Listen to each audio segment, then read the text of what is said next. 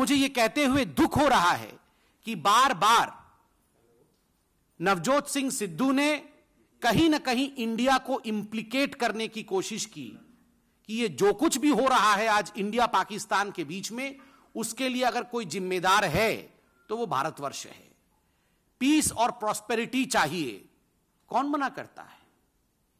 Piece और prosperity के लिए सदियों से हिंदुस्तान खड़ा है और आगे भी खड़ा रहेगा। और अगर पीस और प्रॉस्पेरिटी के पीठ पे छुरा भोंकने का काम कोई देश कर रहा है तो वो पाकिस्तान कर रहा है।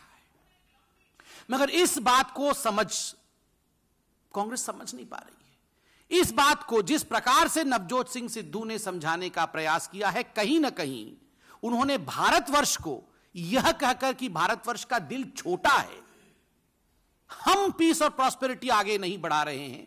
हिंदुस्तान को बार बार कटघरे में खड़ा करने का जो प्रयास कांग्रेस पार्टी ने किया है, हम इसकी निंदा करते हैं, इसकी भर्सना करते हैं और मैं बहुत फर्मली कहता हूँ कि भारतीय जनता पार्टी इसका जवाब सिद्धू जी से नहीं, राहुल गांधी जी से चाहती है।